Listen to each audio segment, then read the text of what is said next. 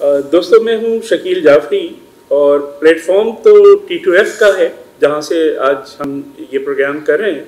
लेकिन जो नशस्त गाह है, वो नसीर तुराबी साहब की है, जहाँ नसीर तुराबी साहब मेरे साथ मौजूद हैं और आज हम उनसे गुफ्तु के लिए यहाँ आए हैं। नसीर तुराबी साहब उर्दू अदब का एक बहुत मोतबर नाम, बहुत मोतबर हवाला है। नसीर तुराबी साहब आदाब। आदाब। आगाज़ कलाम में आपका बहुत शुक्रिया कि आपने हमारे लिए वक्त निकाला और हमें ये मौका दिया कि हम आपसे बर रास्त गुफ्तु करें कुछ अहम और ख़ास मालूम अदब और शेर सुखन से मुतल अहबाब तक पहुँचा सकें। इस मरहले पर हम चाहेंगे कि आप अपने अदबी सफ़र से मुतल कुछ फरमाएँ। यानी आगाज़ कैसे हुआ और उसका महर्रिक या उसके जो महर्रिकात हैं वो क्या है? शकील शुक्रिया आपने मदू किया मुझे। उमूमन मैं ऑनलाइन काम, यानी जब होता है अदब का, इस पर नहीं शिरकत करता। इसलिए कि उमूमन ऑनलाइन या फेसबुक पर और यूट्यूब पर वो लोग ज़्यादा सरगर्म अमल हैं, जो शौक़ रखते हैं, ज़ौक़ नहीं रखते। और ज़ौक़ कहते हैं जो आपका ज़ाती रुझान है या जो ज़ाती आपका शरफ़ है उसको आप एक हुस्न देने के लिए उसमें एक फैलाव पैदा करने के लिए आप तरबियत दे करती हैं उसकी। और उस तरबियत से जो सूरत हाल रूनुमा होती है उसको ज़ौक कहते हैं। क्या बात बात तो ये आजकल ज़रा फुदान है इसका आप देखते हैं। दरअसल मेरा जिस घराने से ताल्लुक़ है वहाँ शेर व अदब का भी बड़ा रिवाज था। मेरे वालिद भी खुद शेर कहते थे और मेरे घर में एक हफ्तावारी नशस्त हुआ करती थी। तो मैंने बहुत कम सीनी से ये देखा कि लोग आते हैं और बहुत शोर होता है, बहुत वाह वाह होती है, बहुत एक दूसरे को वो करते हैं। और फिर उसके बाद चाय का वक्त हो तो चाय, अगर दोपहर का वक्त हो, इतवार का दिन तो खाना। तो एक अच्छा लगता था लोगों की आमद से। और उस ज़माने में हम जिस ज़माने में हमारी उठान थी वो ज़माना ज़्यादातर अदब और अदीबों और स्कॉलर्स को देखकर आइडियल बनाने का था। उस ज़माने में स्पोर्ट्स का भी इतना शौक नहीं था हमारे ज़माने में। तो इसलिए भी एक शगफ पैदा हो गया तरबियत हो गई। आहिस्ता आहिस्ता जो लोग पढ़ के जाते थे बाद में उनकी नकल करना या बाद में उनकी तरह से पढ़ना, एक ये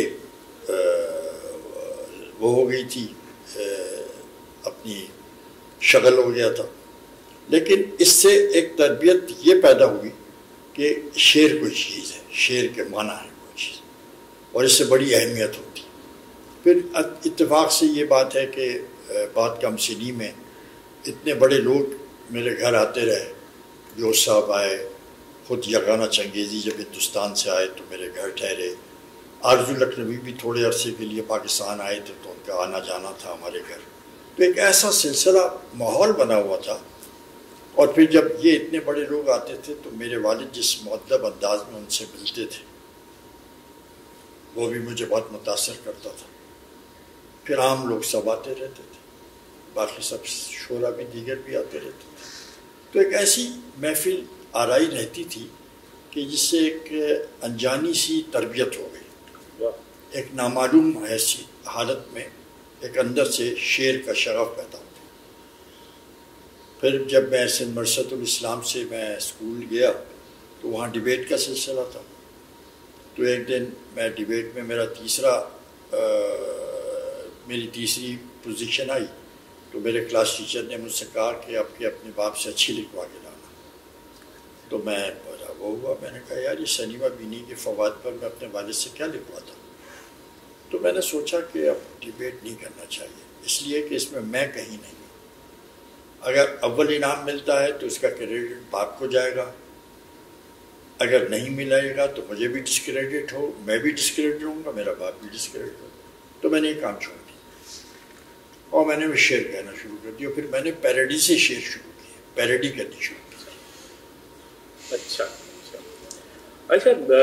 आपने जो कहा कि जो तरबियत आपकी हुई और घर में जिस तरह की महाफिल होती रही, अब वो महाफिल को अगर हम देखते हैं तो दोनों तरह के लवाजमात मौजूद हैं, यानी कि आपके वालद ग्रामी जो है वो एक जैद ख़तीब है, फिर आपके खानवादे में जो है एक बड़ी लिस्ट है जो फ़न खिताबत और ये जो जाकरी और ज़िक्र का सिलसिला है, इतना तवील।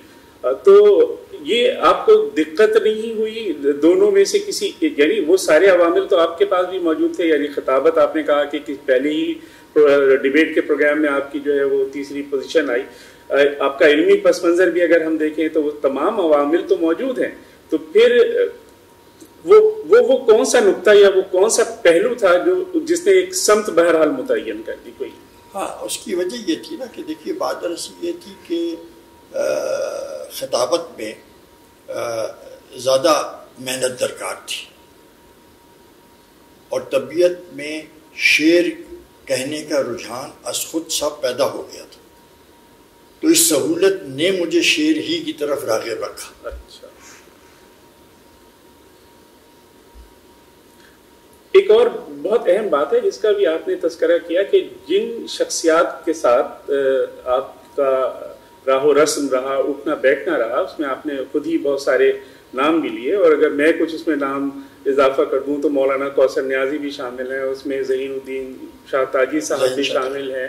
तो इस और कमर जमील हैं इस तरह के जब लोग हैं तो मेरा मेरा एक सवाल ये है आपसे कि इतने लोगों के साथ इतना वक्त गुजारने के बाद अगर कोई एक याददाश्त भी तहरीर करते तो एक एक तारीख भी रकम होती और एक बड़ी एक दिलचस्प सी सूरत हाल भी पैदा होती तो उस तरफ़ नहीं आपका ध्यान गया? हाँ देखिए असल बात यह है कि बात यह है शकील मैंने आ, हमेशा क्योंकि आजकल आप देखते हैं अदब में बहुत से लोग बलिहाज कॉलम चल रहे हैं। अखबार में कॉलम लिखते हैं लिहाजा अदब में भी ना खड़े हुए। सही। बहुत से लोग जो हैं बलिहाज अहदा अदब में काम करते हैं। बहुत से लोग बलिहाज पिदरम सुल्तान बूत करते हैं। मैंने किसी हवाले को अपनी शायरी के रास्ते में आने नहीं दिया।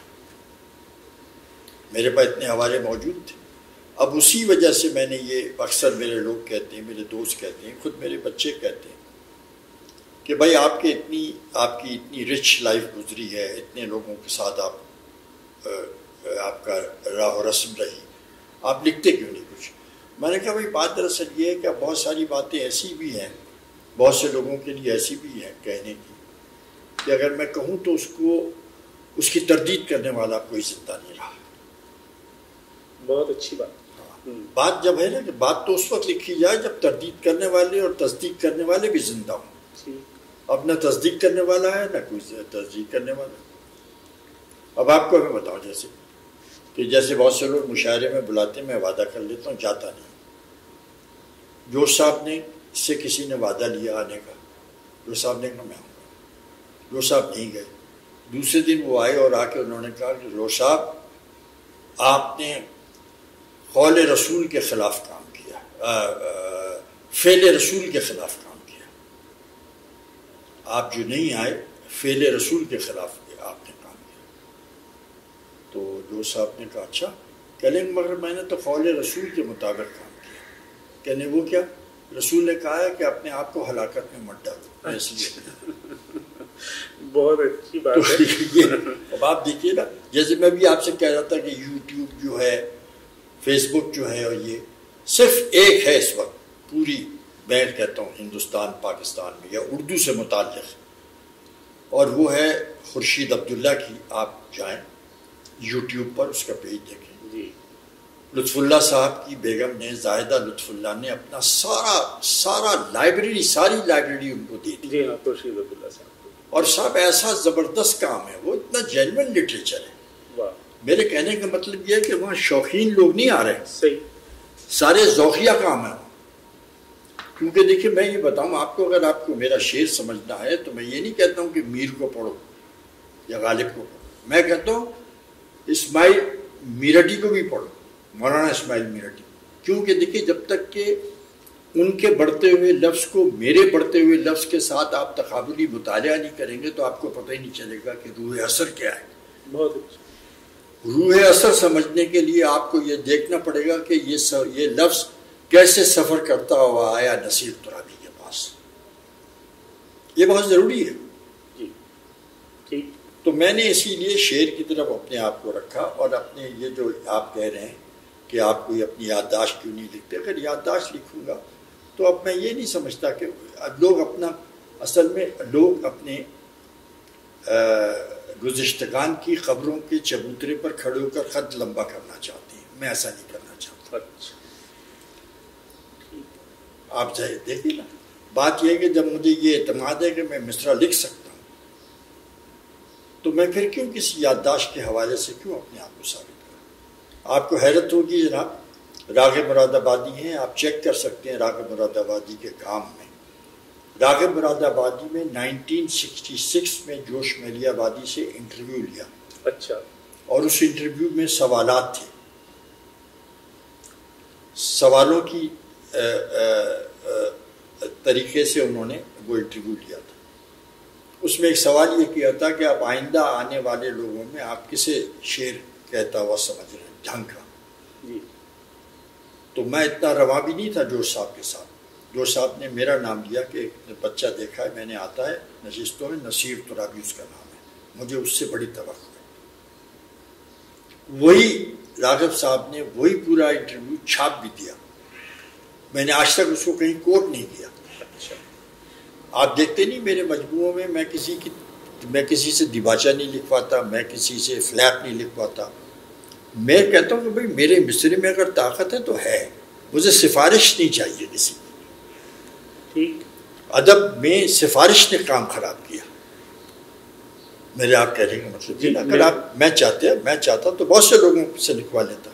अब आपको एक हैरत की बात का इजाफा कर दूँ। 1971 में हम जी हमारे दोस्त इफ्तार आरिफ ने फैज साहब के ख़िलाफ़ एक नज़म लिखी। और जंग में शफ़ी अकील ने अपने सफ़े पर उसको छापी। और उस नज़म को उनवान था कि आप वियतनाम पर लिखते हैं आप आ जाओ अफ्रीका लिखते हैं लेकिन आप कश्मीर पर नहीं लिखते। ठीक शकील जो साहब फैज साहब इतने बरहम हुए कि मुझे और अभी दूसरे आदमी ज़िंदा हैं मेरे साथ सहर अंसारी वो तीसरे मर गए मिर्ज़ा ज़फ़रुल हसन और चौथे मर गए सुरू बाराबंकवी अच्छा। हम सबको बुलाया उन्होंने मंगल के दिन। इतवार को ये नज़म छपी थी मंगल को हमें बुलाया और अपनी एक नज़म सुनाई जवाब में गुस्से में कि घर रहिए तो वीरानी दिल खाने तो आ खाने को आवे रह चलिए तो हर गाँव पे होगा सकाएँ वाह। और बात ऊपर हम इंतज़ार किया। लेकिन जब फैज साहब लंदन पहुँचे इफ्तार आरिफ ने अपना मजमू रखा उनके सामने फैज साहब ने उसके ऊपर लिख दिया दीबाजा वो बड़े आदमी थे। दरगुजर दरगुजर उनके पास बड़ा शेवा था। मेरे कहने का मतलब ये है कि लेकिन अब ये जस्टिफाई वो नहीं कर सकते आरिफ साहब कि एक दफ़ा जिस नज़म को उन्होंने उनके ख़िलाफ़ इस्तेमाल किया। अच्छा फिर फैज साहब ने भी चालाकी ये की कि दिबाचे में ये लिखा कि इन्होंने इफ्तार आरिफ ने बढ़त की है। अच्छा। उन्होंने इजाफे का लफ्ज़ इस्तेमाल नहीं किया अच्छा। इन्होंने कहा शायरी में बढ़त की है। अच्छा। तो मैं सिप्त हसन साहब के घर पे फैज साहब बैठे थे मैंने फैज साहब से कहा फैज साहब आपने ये बढ़त ये जी जी। उस मानों में लिखा है? वो जो तजावज़ात के मानों में आता है। जी। समझ गया। आप समझे? जी, बढ़त भी तो। तजावुज करना भी तो बड़ा बढ़त है ना? तो फैज साहब ने फिर इसका हंसे बहुत हंसे। अच्छा। अच्छा वो इस तरह की चालाकी सियासी चालाकियाँ बहुत करते थे। अच्छा। ऐसा एक आध दो नुक्ता रख देते थे कि जिससे वो बात या भाई हालाँकि सीधा लिख सकते थे कि इन्होंने शायरी में इजाफा किया। उन्होंने कहा बढ़त की। अच्छा। आप समझ मैं बिल्कुल समझ रहा हूँ और अब आपकी जो इस वक्त गुफ्तगु हुई उसमें से मेरे जहन में तीन सवाल पहले तो आपने कहा कि दिबाचा वगैरह आप नहीं लिखवाते। मुझे बताइए कि जो आपकी किताब है शेरियात जो बेसिकली ज़बान और बयान पर है, और बड़ी खूबसूरत है, और मैं, बल्कि मैं ये कहूँगा कि जो नौजवान या जो नए लिखने वाले हैं ख़ास तौर पे जिनको शेरी ज़ौक़ है या शौक़ है, वो कम अज़ कम इससे इस्तफ़ादा करें। ये एक ऐसा अहम डॉक्यूमेंट है, एक ऐसी अहम दस्तावेज़ है, जो बड़ी जाँ फिशानी से तुरावी साहब ने, नसीर तुरावी साहब ने जो है उसको पाया, तकमील तक पहुँचाया। सार अंसारी साहब के उसके ऊपर जो है वो रिमार्क्स और कमेंट्स मौजूद हैं। तो उस हवाले हाँ, से मेरा अब आपसे मैं अर्ज़ करूँ कि देखिए मैं मैं तो ना लिखवाता लेकिन चूँकि मेरा पब्लिशर जो है पैरामाउंट है पैरामाउंट ने सहर अंसारी से कहा लिखी। हम्म। इसलिए चूँकि नाशर जब कहता है कि ये लिखेंगे तो मैं मजबूर हूँ नाशर की वजह से। ठीक। तो इसलिए सहर अंसारी ने लिखा उस पर। अच्छा वो भी मैंने इसलिए लिखा मुझे खुशी इस बात की है कि आप तो तालब इलमों की तरफ़ इशारा कर रहे हैं। मुझे तो जब खुशाब से और पेशावर से और इधर उधर से जब टेलीफोन आते हैं तो मैं पूछता हूँ, बेटे, आप किस क्लास में पढ़ते हैं? तो वो कहते हैं, नहीं, मैं ख़ुद उर्दू का प्रोफेसर हूँ मैं पढ़ाता हूँ। कहने आपने तो यह किताब हमारे लिए लिखी इस के लिए लिखी इस को नहीं मालूम कि क्या चीज़ है? तो मैंने इसलिए भी ये काम किया कि अगर आप गालिब के खतूत पढ़ें तो लसानियात पर ज़बान बयान पर जितनी गुफ्तु गालिब ने अपने खतूत में की है अच्छा। वो ख़ुद अगर उसका इंतखब करें तो एक किताब बन सकती है। उसका यानी बड़े जितने हमारे पुराने कदीम शोरा गुजरे हैं उन्होंने ज़बान बयान के हवाले से कोई ना कोई बात ज़रूर की है। और बाद में बाद के शोरा ने हसरत ने और लोगों ने जलील मानकपुरी ने इन लोगों ने सब किताबी सूरत में ये काम किया। तो चूँकि मैं अपने आप को एक क्लासिक रिवायत से करीब रखने का आदि हूँ तो लिहाजा मैंने एक किताब भी उसी जैल में तरतीब दी। और मुझे खुशी है कि ये इतनी मकबूल हुई, इतनी मकबूल हुई कि दुनिया भर से जो लोग भी उर्दू से ज़रा बहुत, यानि रब्त ज़ब्त रखते हैं, वो इस पर इतने अमल पैरा हैं कि वो कहते हैं कि साहब, हमारी तो चीज़ों की, हमारी तो इमला दुरुस्त हो गए। वो कहते हैं कि हमारा तो तलफ़ दुरुस्त हो गया। बिल्कुल ऐसा ही है, बल्कि मैंने जब चंद बरस कबल इस को लिया बाज़ार से और एक दफ़ा इसका मुताल किया तो वो तो अपनी जगह अब जब मैं आपके पास आ रहा था आपसे गुफ्तु करने के लिए तो मैं ख़ास तौर पे इसको कई दफ़ा देखा कि अगर मैंने कुछ तलफ़ कहीं पे बहुत शुक्रिया तो देखिए ये तो ये तो रोज़गारी मसरूफियत में और। कारोबारी मसरूफियत में तो आदमी से स्लिप ऑफ़ टंग हो जाता है। मसलन एक मिसाल दूँ आपको। जो साहब रिहाइश के ख़िलाफ़ थे जब रिहाइश कोई कहता था तो कहते गलत है। इसलिए कि रिहा वो कहते थे हिंदी है इश फारसी है। तो फारसी और हिंदी का इख्तराज नहीं हो सकता। ठीक तो मैंने जो साहब से कहा था जो साहब देखिए बात यह है कि क्या रिहाइश से आपके जहन में माचिस की तीली आ रही है? अच्छा दिलचस्प हम्म। या पानदान आ रहा है? अच्छा। और अगर रिहाइश से सुकूनत और क़्याम का तस्वुर आ रहा है तो रिहाइश सही है जायज़ है। सही ठीक है। अब इसके तस्वुर को देखना चाहिए। जैसे वो वो भी एक वाक़ है कि हसरत मोहानी आए रेडियो पाकिस्तान।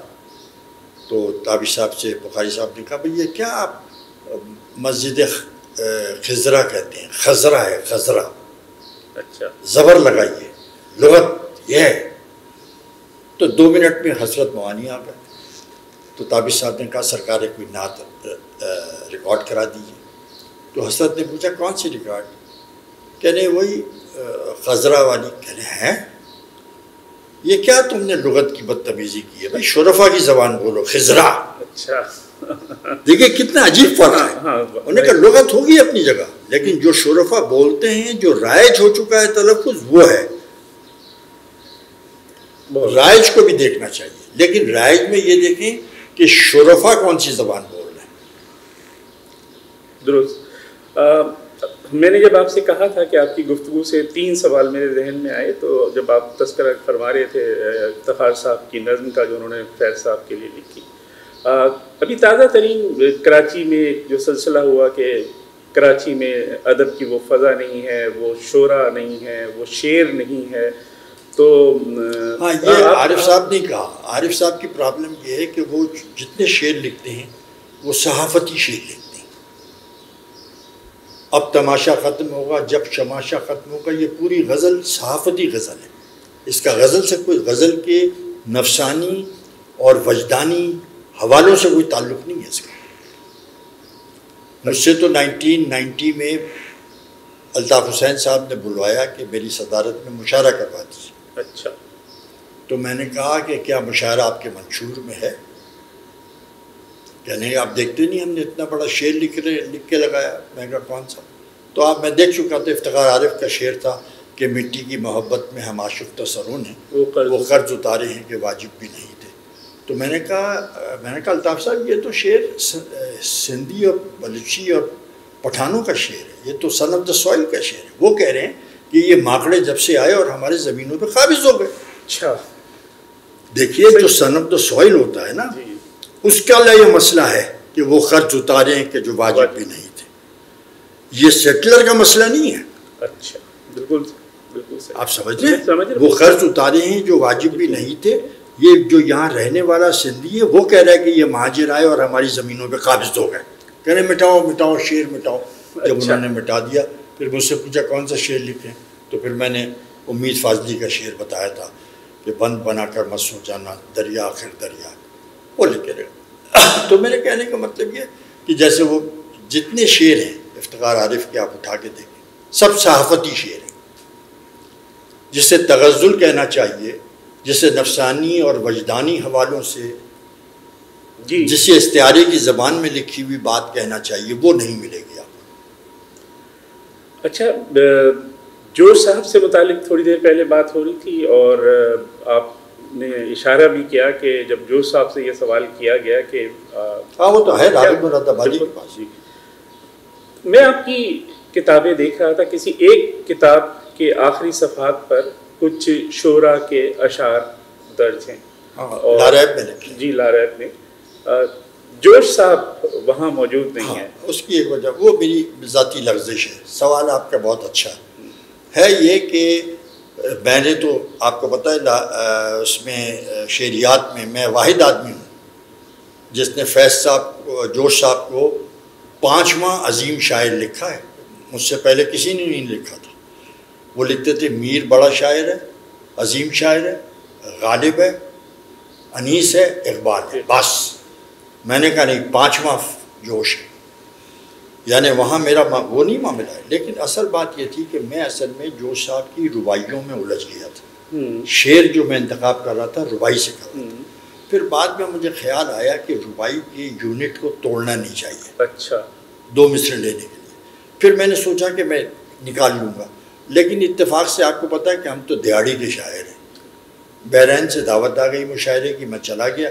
लेकिन इस अरसे में जो मेरे पब्लिशर थे वो डेडलाइन की वजह से उन्होंने छाप दिया मैंने कहा चलो मेरी ये मेरी लफ्जिश है ये मेरी गलती है वैसे जोश साहब की हैसियत में कोई वो नहीं है। सही वो बहुत बड़े शायर हैं बहुत बड़े शायर हैं। अच्छा हम आपकी जो दोनों किताबें हैं लुगतुल अवाम और शेरिया। हाँ देखिए लुगत अवाम मैंने क्यों लिखी ये बताता हूँ जबकि आपने मुझे लिख के भेजा था कि अब्दुल रऊफ पारिक और उन्होंने शमशुर रहमान फारूकी साहब बिल्कुल। मैंने बताया आपको कि देखिए रऊफ पारिक साहब ने जो लिखी है उर्दू स्लैंग आप वो देखिएगा तो उसमें अक्सरियत बम्बई टॉकीज की चीज़ें हैं। बम्बई के थिएटर के लफ्ज़ हैं। ठीक। मैंने फड्डा लिखा है मकरानी लफ्ज़ है ये। सही। मैंने पंगा लिखा है जो पंजाबी लफ्ज़ सही। मेरी लुगत में आपको पाकिस्तान के तमाम इलाकई ज़बानों के अल्फाज मिलेंगे। ये किसी में नहीं है किसी के पास नहीं। आप समझे? शमसुर रहमान फारूकी क्या लिखेंगे पंजाबी लफ्ज़? सही। वो क्यों लिखेंगे बलोची देखिए मैं गया ये बेनज़ीर यूनिवर्सिटी और वहाँ के वाइस चांसलर से पूछा मैंने अख्तर बलोच मेरे दोस्त हैं। मैंने कहा भाई ये अ, ये जो है अ, पठान कहते हैं पश्तो वाले कहते हैं रोकड़ा। उन्होंने कहा नहीं पश्तो का लफ्ज़ नहीं है तो हमारा बलोची का है। फिर उन्होंने पूरे रोकड़े के छः लफ्ज़ बताए छः इस्तेमाल बताए। अच्छा। तो इसीलिए मैंने रोकड़ा लिख दिया। ये नहीं लिखा बलोची पश्तो क्योंकि मुश्तरका हो गया लफ्ज़ मुश्तरका हो गया। अब पंगा जो है ठुड्डा जो है हर आदमी बोल रहा है ठुड्डा मारूँगा। ठीक। आप समझे? तो मैंने अब चूँकि ए लेवल और बी इसमें जो पढ़ने वाले बच्चे आ रहे हैं ओ लेवल में इनका मसला ये कि ये बोलते हैं अंकल फड्डा हो गया। लेकिन उनको ये भी तो मालूम होना चाहिए कि फड्डे का लफ्ज़ चूँकि लफ्ज़ को एतबार जो है लगत देती है। जी। लगत से एतबार मिलता है लफ्ज़ को सही। तो वो मैंने शामिल कर लिया ये बताएँ कि आप एक अरसे से लिख रहे हैं और ज़ाहिर है हमने आपका वो कलाम भी पढ़ा जो आपने इकहत्तर के हवाले से लिखा। कुछ गज़लें मैंने आपकी उन्नीस सौ चौहत्तर की भी देखी। मजमू गालिबा आपका अब से कोई बीस साल पहले आया। और ये जो हम हम दूसरे शोरा को देखते हैं कि कई कई मजमू कलाम जो है वो शाया होते हैं। आपके पास माहौल भी है ज़ुबान भी है वोकेबलरी भी है इंस्पिरेशन भी है लेकिन बहुत अच्छा सवाल किया आपने आपकी वजाहत किया तो फिर ये भी कही कि मेरे पास पब्लिशर भी हैं। जी जी। यानी छापने वाले भी मौजूद हैं।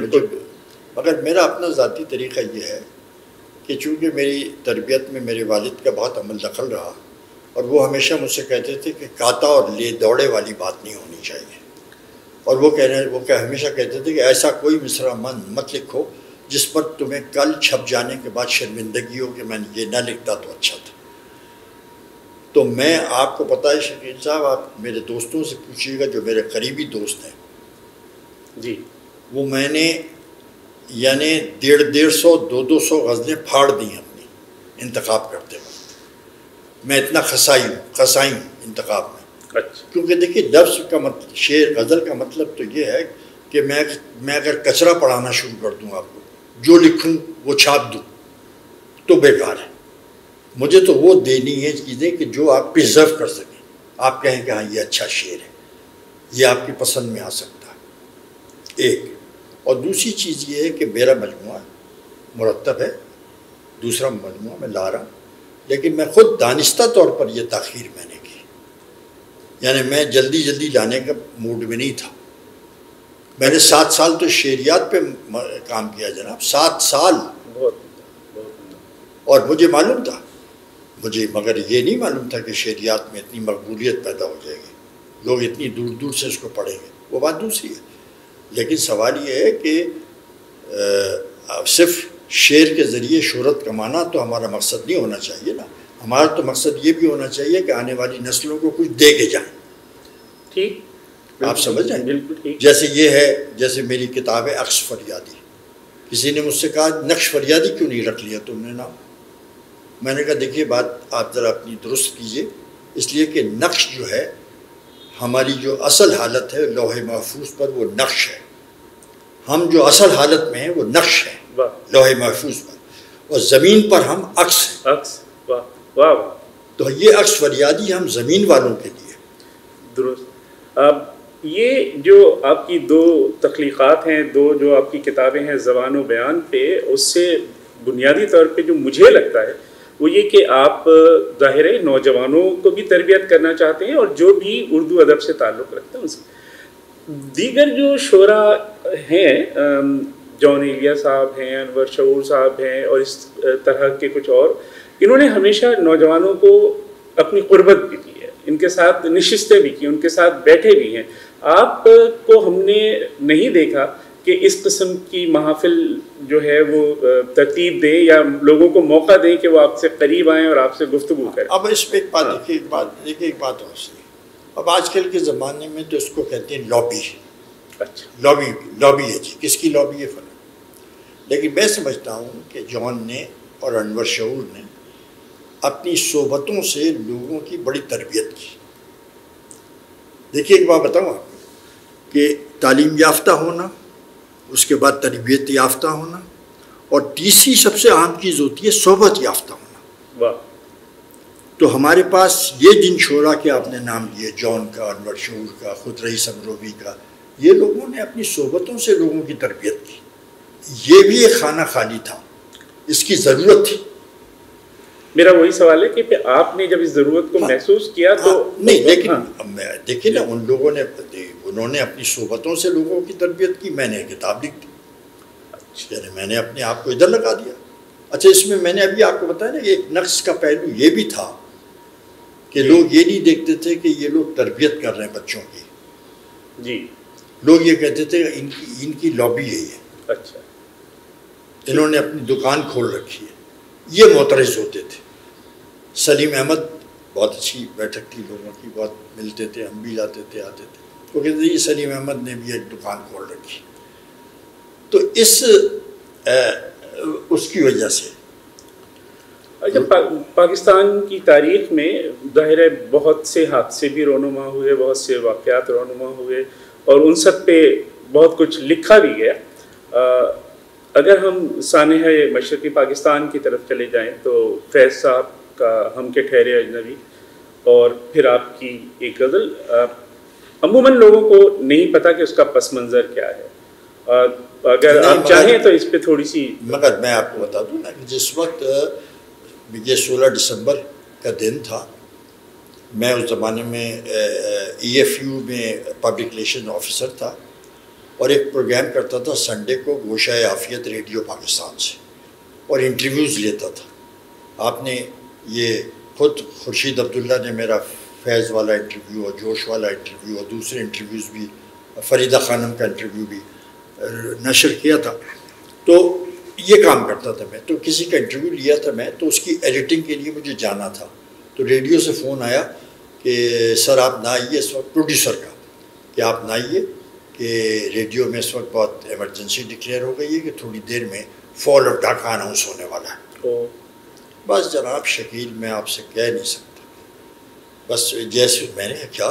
फॉल ऑफ़ डाका बस मैंने रिसीवर रखा और रोने लगा। और जैसे ही रोने लगा तो कागज़ खींचा और मैंने ये गज़ल लिखनी शुरू कर दी वो हम सफ़र था मगर उससे हम नवाई और आपको ये बताऊँ इसका क्रेडिट बताना चाहिए। ये मैंने पहले लिखी है। शाम को सिफ्त हसन ने फैज साहब को भी बुलाया अपने घर में और बहुत चूँकि गमजदा थे तो बहुत मैं नोशी की महफिल आरास्ता की थी उन्होंने। तो उन्होंने कहा फैज साहब को सुनाओ।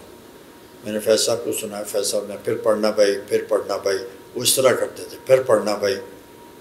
और बाद में उन्होंने लिखी ये हम के ठहरे अजनबी वो तो फिर एक पूरा मगर उन्होंने मुझसे कहा मुझसे कहा ये बात मैंने कहीं लिखी नहीं। उन्होंने मुझसे कहा कि वो हम सफ़र था मगर उससे हम नवाई न थी। मैंने कहने कि हम नवाई का जवाब मैं अजनबियत के सिवा और किसी तरह न दे सका। मुझसे कहा उन्होंने कि तुम्हारा हम नवाई इतना स्ट्रांग है कि मैं उसके लिए सिर्फ़ हम नवाई लिख सक मैंने अजनबी लिखा। अच्छा। तो अब आप बताइए इससे ज़्यादा एजाज़ मुझे क्या चाहिए? नहीं यार बहुत बड़ी देखिए बात। बताऊँ मैं आपको। जब आप कोई काम करते हैं आप भी चूँकि फ़नून लतीफ़ा के आदमी हैं देखिए अगर शौक़ रखते हों तो आपको अपनी शोहरत का शौक़ होगा इसमें। इसमें जो सबसे बड़ा आइटम होता है शौक़ में शोहरत मिल रही है कि नहीं मिल रही? अच्छा ज़ौक़ में ये नहीं होता। ज़ौक़ में शोहरत नहीं होती ज़ौक़ में आसूदगी होती है कि उसकी रूह खुश हो रही है कि नहीं हो रही। तो मैं ज़ौक़ में आसूदा रहना चाहता हूँ। अच्छी बात है बहुत अच्छी बात है। ये है सारा अच्छा हम नवाई से जो है फिर इसका एक और देखिए ना मैं बताऊँ ना कि मैंने तो प्योर प्योर पॉलिटिकल गज़ल लिखी। जी। बिल्कुल सही है। देखिए ना प्योर पॉलिटिकल हालाँकि वो बाद में मुझे तो नहीं मालूम था। ड्रामे में इन्होंने ले लिया सुल्ताना सिद्दीकी थी और मज़े की बात क्या है इसमें? कि ईएमआई ने इस पर केस कर दिया पाँच करोड़ रुपए का। अच्छा। क्योंकि 1980 में इसे आब्द परवीन ने गाया था। ईएमआई की ठीक है। तो सुल्ताना सिद्दीकी ने बुलाया अपनी बहू को मोमिना को और कहा कि भाई ये राइटर से आपने इजाज़त ली थी? उसने कहा नहीं मुझे नहीं मालूम ये तो वो जो क्या नाम है कौन सी खातून थी उसने जिसने ड्रामा लिखा कहने मैं गज़ल को मैंने सुना है और मैं उस पर ड्रामा लिख रही हूँ उसने शायद दी हो या तो उसको बुलाया। जब उसको बुला के पूछा कौन सी ख्याल पता नहीं क्या नाम था? तो उसने कहा उससे सुल्ताना सिद्दीकी ने पूछा इस शायर से आपने इजाज़त ली थी? कहने ये तो मरे हुए ये तो मर चुके अच्छा। कहने हाँ ये मर चुके आपके इल्म में? कहना हाँ ये बहुत पुराने मर चुके उसने वहीं सुल्ताना ने मोबाइल से मुझे फ़ोन किया स्पीकर ऑन करके भाई कैसे हैं आप? ये भाई आप तो ज़िंदा बैठे मैंने कहा भाई आप टारगेट किलिंग नहीं कर रही हैं तो ज़िंदा बैठे अरे वो डर गई। खैर मैं गया और मैंने कर मैंने इसकी तरफ़ से, क्योंकि देखिए, मैंने भी बरह रास्त ना मुझसे पूछा था, ना मैंने सुनी थी। मुझे तो किसी दुबई ने फ़ोन, दुबई से मेरे दोस्त ने फ़ोन करके कहा कि ये गज़ल तुमने कब लिखी, क्या था और वो भी लिटरेचर तो ऐसी कैजुअल था उनके लिए, कोई कोई सीरियस मसला नहीं था। तो फिर जब मैंने सुना तो मैंने कहा चाहिए अच्छा अब देखिए, उन्होंने पूरी गज़ल का ट्रीटमेंट रोमांटिक किया है। मैंने पूरी रोमांटिक पॉलिटिकल सिचुएशन पर यह गज़ल लिखी है। जी जी। आप समझ रहे हैं? जी हाँ। कि के आ, क्या के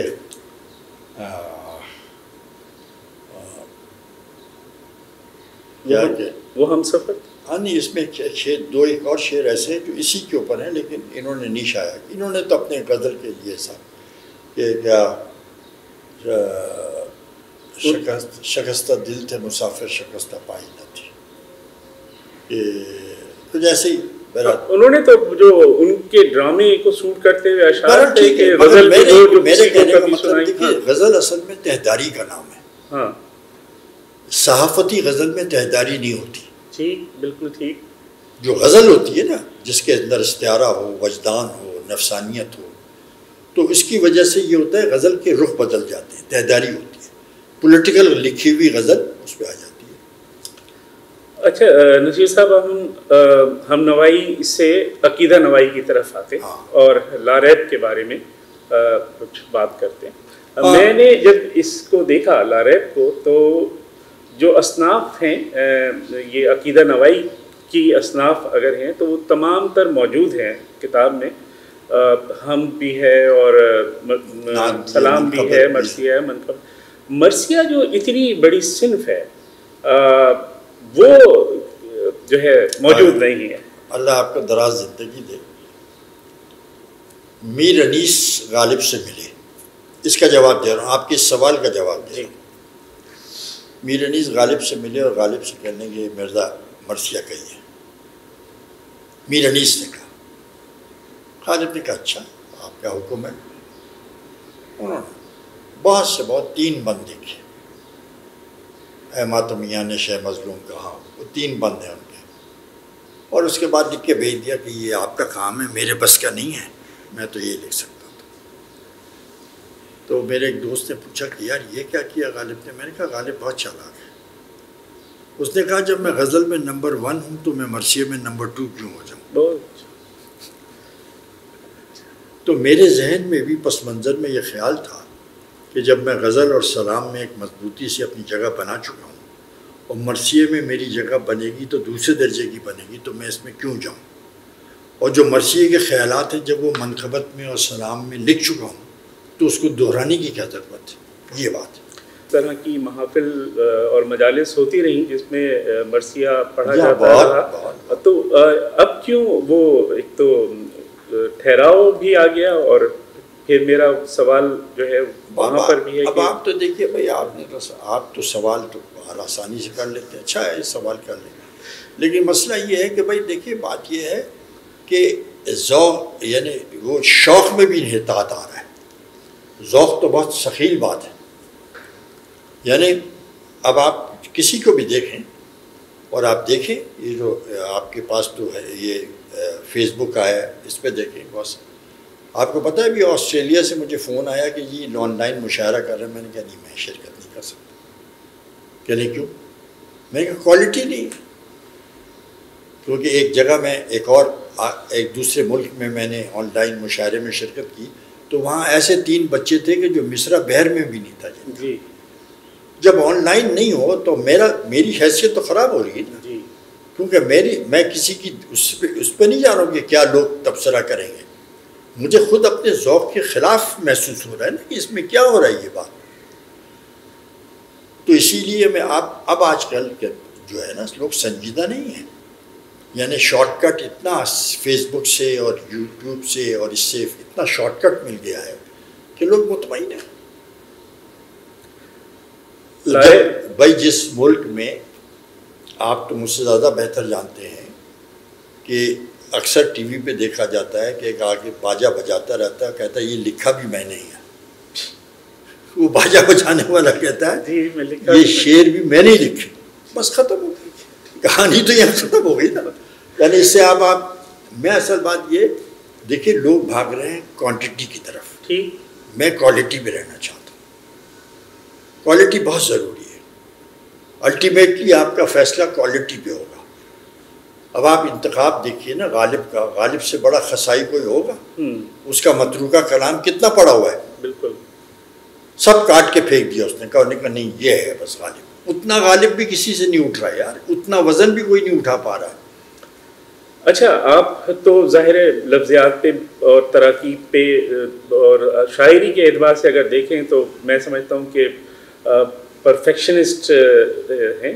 लारैब ने मगर मैं देखा मैं भी इस पर कोई मैं निगेटिव कोई बात नहीं कर रहा हूँ मैंने देखा कि बहुत मीर अनीस की जो शायरी है उससे उनकी ज़मीनों को काफ़ी मरतबा इस्तेमाल हुआ है वहाँ पे और सिर्फ़ या। मीर अनीस नहीं बल्कि दूसरे जो हाँ, दीगर अच्छा सवाल किया हाँ। लेकिन मैं मैं इस इस वो है रसाई अदब के हवाले से मीर अनीस को बहुत अहमियत देता हूँ मैं मुतासर भी मीर अनीस से बहुत हूँ और ख़ुद मेरे वालिद ने मेरी इब्तदा में मुझे तहतुल्लफ़ मरसिया ख़ानी के लिए जैड बुखारी के पास भेजा था। मैं तहतुल्लफ़ मरसिया ख़ानी करता था बुखारी साहब ने मुझे सिखाया था। बल्कि मैंने मुझे तो ये एजाज़ हासिल है कि बुखारी साहब आठ मुहर्रम को ये नूरजहाँ के स्टूडियोज़ लाहौर में मरसिया पढ़ते थे। एक साल उनकी तबीयत ख़राब थी तो बुखारी साहब ने मुझे भेजा था पढ़ने। अच्छा फिर मैंने यहाँ भी बुखारी साहब की जगह पढ़ा। नूरबाग मुसाफिर खाने में। और बुखारी साहब बैठे हुए थे उस वक्त जब मैंने मरसिया पढ़ा था। तो मरसिया मेरे लिए बात अनीस का बात वो है और अनीस के सलाम क्या कहने आखिरी सवाल आपसे करूँगा और उससे बात आपसे चाहूँगा कि कुछ अशार इनायत हों जो भी आप मुंतखब करें। सवाल ये है कि अक्स फरियादी का जो मतलब मेरा वो सवाल है जो मैंने अभी तक पूछा नहीं। और सवाल जो है वो वो है कि वो बात सारे फसाने में जिसका ज़िक्र न था। अक्स फरियादी का आखिरी सफ़ा और उस आखिरी सफ़े पे आखिरी शेर अ, उसके बारे में कुछ हाँ फरमाइएगा। वो, वो मेरी अहलिया का नाम है मायरा और मैंने शेख शेर उनको नज़र किया था। अच्छा। और ज़ाहिर है कि जिस तरह यानी मैं मैं तो आपको पता बड़ा लावाली सा आदमी हूँ बहुत ही गुमसुम रहता हूँ। हर वक्त मिसरा सोच रहा हूँ लफ्ज़ सोच रहा हूँ किसी और उलझन में हूँ। तो मुझे संभालने में मेरी बीवी ने बड़ी मदद की। आपको हैरत होगी कि ये जितना मेरा कलाम है इब्तदाई मैं तो ये किस सिगरेट बहुत पीता था तो सिगरेट के पैकेट्स पे लिख के रख डाल दिए थे। तो पुर्जे बहुत थे। तो मेरी बीवी ने आके मेरी सबसे पहली शायरी का इंतखब जो डायरी किया था वो मेरी बीवी ने किया था। इन सारे पुर्जों को उसने जमा किया था। अच्छा। तो लिहाजा उसका एक बहुत बड़ा कंट्रीब्यूशन है मेरी ज़िंदगी में तो उसी हवाले से मैंने वो शेर उसको ट्रिब्यूट के तौर पर। नसीर साहब मैं चाहूँगा कि कुछ अशार जो है वो अ, बस आपके लिए ऐसे शेर सुना देता हूँ ऐसे मुझे कि लेकिन देखिए मुझे तो ये बात है कि बहुत सारी चीज़ें जो है ना कि आप इसमें देखेंगे कि मुझे इस बात की खुशी है कि मेरी वो गज़ल थी देख लेते हैं अब उस बाम को आते जाते ये भी आज़ार चला जाएगा जाते जाते। अहमद फराज ने मुझसे कहा कि मैं तुम्हारी ये गज़ल काटूँगा। फिर उसने गज़ल लिखी सिलसिले तोड़ गया वो सभी जाते जाते वरना इतने तो मरासिम थे के आते जाते। तो जब उसने मुझे टेलीफोन पे ये बात बताई तो मैंने कहा यार ठीक है लेकिन इतने बड़े शायर से मैं इतनी बड़ी गलती की उम्मीद नहीं करता। अच्छा। कहने वो क्या? मैंने कहा ये जो है सिलसिले तोड़ गया वो सभी जाते जाते वरना इतने तो मरासिम थे कि आता जाता। ये तल उर्दू है। बहुत सही उर्दू ये है। सिलसिले तोड़ गए हम सभी जाते जाते वरना इतने तो मरासिम थे कि आते बड़ी बड़ी दुरुस्त निशानदेही हुई। तो ये वो कहने के बाद वो प्रिंसिपल है इसमें प्रिंसिपल क्रॉस है। वाह वाह। तो आता जाता होगा। बिल्कुल ठीक। ठीक अरे यार अब तो नूरजहां ने गाली अब तो नूरजहां ने गाली में मैंने कहा ठीक है। मगर मैं ये बता रहा हूँ आपको तो इस मुझे इस बात का शौक है कि एक तो फराज ने ली। और फिर मेरी वो गज़ल बहुत मकबूल हुई लोगों में। मुजफ्फर वारसी ने भी लिखा था और लोगों ने भी लिखा था कि तुझे क्या खबर? मेरे बेखबर मेरा सिलसिला कोई और है। जो मुझी को मुझसे बहम करे वो गुरेश पा कोई और फिर सलीम कौसर ने भी लिखा और लोगों ने लिखा। ठीक है? तो ये यानी इसका मतलब ये कि वो बहुत है। मुझे तो इस बात का एजाज़ है कि मैंने जब लिखा था कि दमिश के इश्क में दीवार दर की हसरत क्या मुसाफिरों को तो रहना ही गर्द राह में है। तो परवीन शाकिर ने दूसरे दिन एक गज़ल कही उसमें लिखा दमिश के हुस्न। तो मैंने कहा बीबी आपने गलत लिखा। दमिश खैत है। अच्छा। हुस्न जो है दगा है।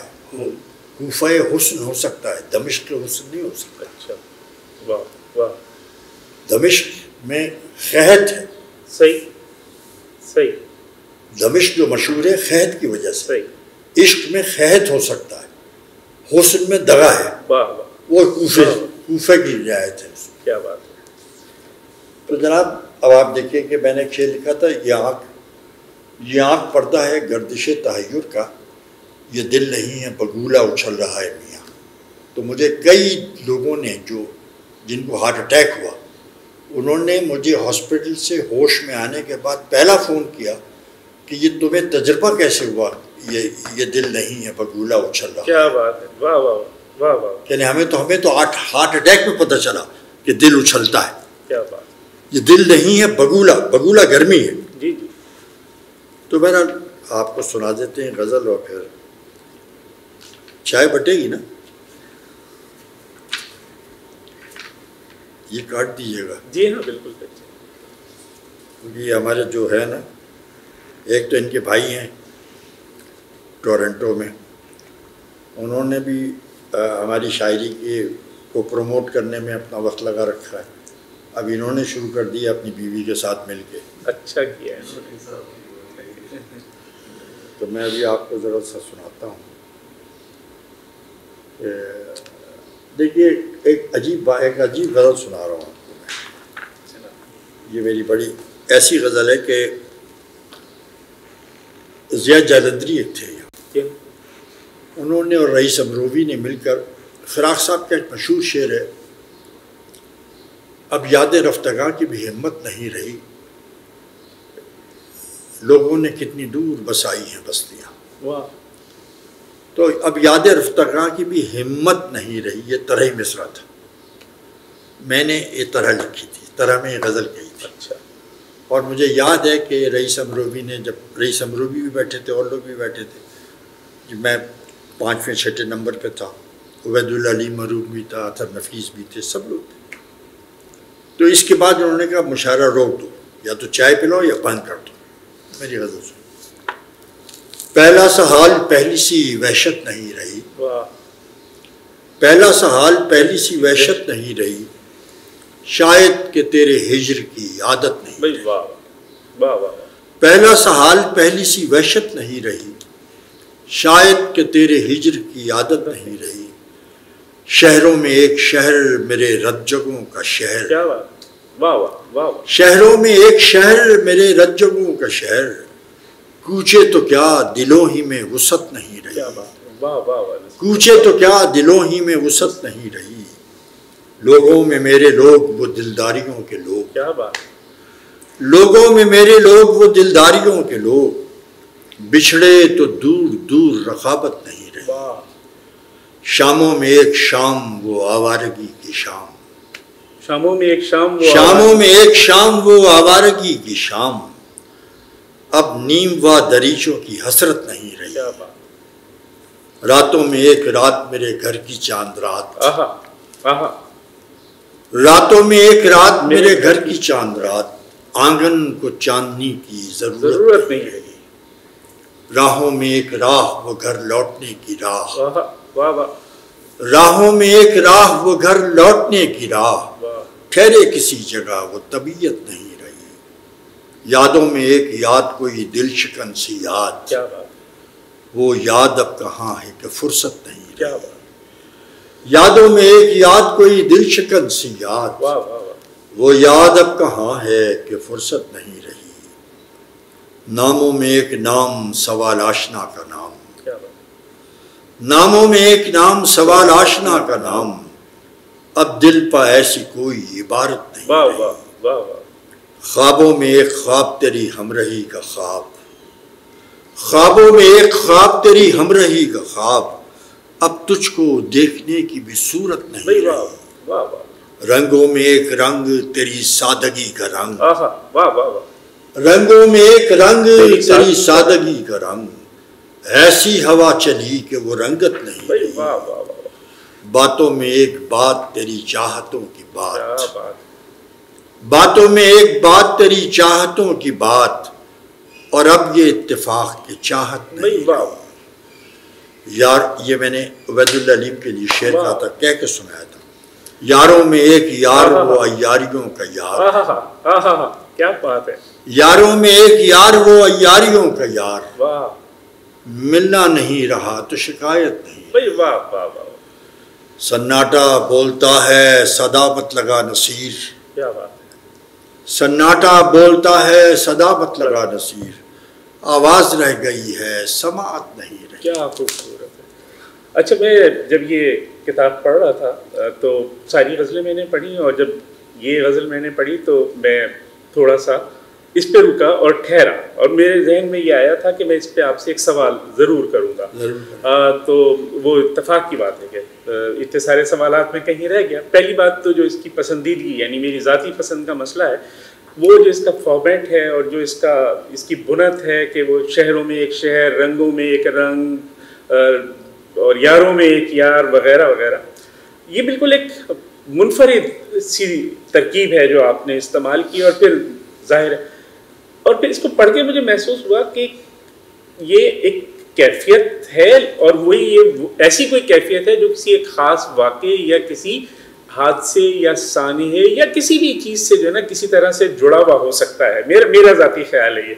तो क्या इस तरह की हाँ जैसे मैंने लिखा ना वो शेर भी लिख दिया था। जी। वो ज़माना ऐसा था कि अलीम मेरा बहुत अच्छा दोस्त था बहुत मेरे साथ था साथ ही उठते थे। मुझसे सीनियर था दो एक। साल।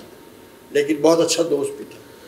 उससे किसी बात पे झगड़ा हुआ था। अच्छा अच्छा। उससे बहुत झगड़ा हुआ था तो वो वो भी इस बात पर उदास और मलूल था मैं भी उदास और मलूल था। अच्छा बातचीत थी अलग से अलग हाँ भाई कैसे हो भाई ये बस इतनी। और वो चाय पीना बैठना रातों को बाहर निकल के घूमना वो सब ख़त्म हो गया था। तो उस गज़ल के उस कैफियत के तासुर में ये गज़ल शुरू बिल्कुल तो मैंने वो बात भी लिख दी यारों में एक यार वो यारियों का यार। वाह वाह वाह। मिलना नहीं रहा तो शिकायत तो नसीर साहब बहुत ही नायत बहुत शुक्रिया कि आपने वक्त निकाला और आपका शुक्रिया कि आपने बहुत शुक्रिया आपका भी। तो मैं आपका बहुत शुक्रगुजार हूँ कि आपने शोहरत का मौका दिया बात शोहरत की नहीं है देखिए इसमें जो अहम बात है ना आपने खुद उसका तस्करा किया कि एक शौक होता है और एक ज़ौक होता है तो अब हम अदब के कारीन को या जो भी ये रखते हैं हम उनको कैसे बताएँगे इन दोनों चीज़ों में जो है वो एक फ़र्क है तो जब तक हम आपसे बात नहीं करेंगे और आपकी बात तो आपको बता जी बस शौक तो हम आपके किसी शगल में मशगूल होना शौक है जी जी जी और आपके आपके अंदर जो रुझान और शगफ है, उसको तरबियत से मुरतब करना, ये ओक़ है। बस यही पैगाम जो है हम लोगों तक पहुँचा रहे हैं और ख़वान बहुत शुक्रिया कि आपने इसको मुलाहजा किया, आपने इसको समात किया खुदा हाफ़िज़।